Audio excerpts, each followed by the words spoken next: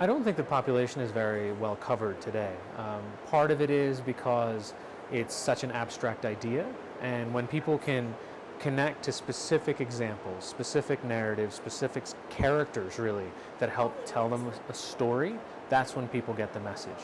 So there have been a couple of stories that at the News Hour we've done in partnership with National Geographic, but I, I don't, you know, flip across the dial and see stories about population every day, or climate for that matter. So since they're so large, um, what it's tough to do is to try to, you know, find something that's representative of a larger problem and make that a very compelling visual story, at least on TV, is what I'm talking about. So while I think, you know, trade publications and niche uh, uh, publishers online are probably covering climate aggressively, I don't necessarily think it's coming to the larger audience very fast whether it's population or climate, mean, the conversation is going to be a difficult one with your children and your grandchildren because they're going to ask the very basic question, did you know this was going to happen? And then at that point when you say yes, when I had the statistics, when I had access to the information, that I could have made a more informed decision and choice, and I didn't, I think that's when that sort of guilt portion of the conversation comes into play.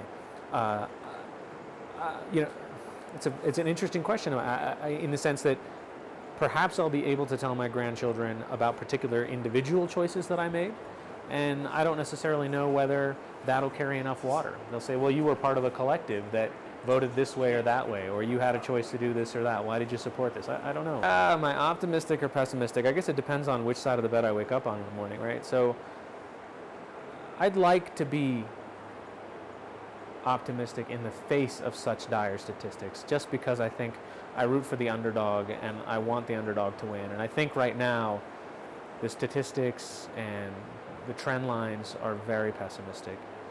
But you just have to believe that we can do something about it. Otherwise, it'd be just futile. Like, why don't we just give up? You know, why don't we just quit and run this place into the ground?